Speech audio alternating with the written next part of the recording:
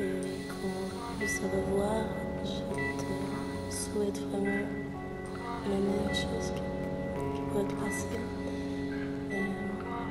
J'espère que tout se passera bien pour toi et que tu continues comme tu, les choses que tu es en train de faire.